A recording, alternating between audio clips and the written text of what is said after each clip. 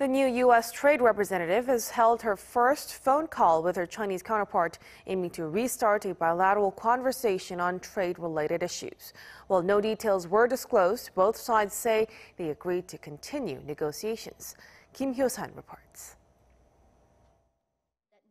The top trade negotiators of Washington and Beijing have spoken over the phone, the first call between the two since President Biden took office.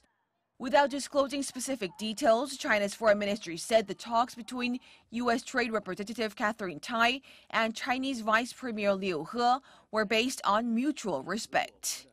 The two sides held candid, practical, and constructive exchanges in the spirit of equality and mutual respect.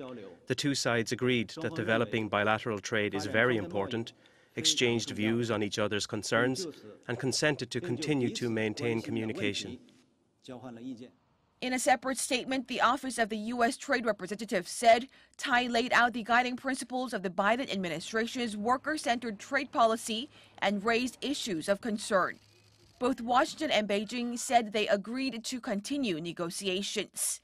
The conversation comes amid Washington's continued pressure on China, not only in the economic sector, but also with President Biden calling for a probe into the origin of COVID 19. Tai has been strongly urging China to start implementing the Phase 1 trade deal signed by the two countries early last year. She says Beijing needs to up its purchases of U.S. agricultural goods, manufactured products, energy, and services. Kim Hyo-sun, Arirang News.